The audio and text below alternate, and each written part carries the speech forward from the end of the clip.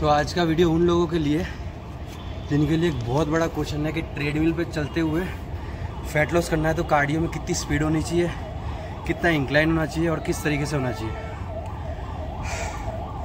तो इसके लिए मैं तुमको एक बहुत ही बेसिक सी टिप देता हूँ, जिसमें तुमको ईजिली पता चल जाएगा कि कितनी स्पीड रखनी है या कितना कुछ रखना है फैट लॉस के लिए।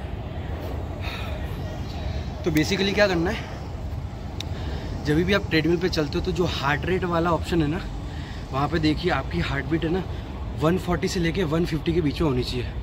अगर वो 140 से 150 के बीच में है तो आपका प्योर फैट बंद हो रहा है। अगर उससे नीचे है तो आपका कोई फैट लॉस नहीं हो रहा है। सिर्फ़ और सिर्फ़ हार्ट की कंडीशनिंग हो रही है। तो कभी भी आप चल रहे हो, कितनी स्पीड है, कितना इंक्लाइन है, वो कोई मैटर नहीं करता। बस आपकी हार्ट बीट देखो 140 से 150 के बीच में है या नहीं है।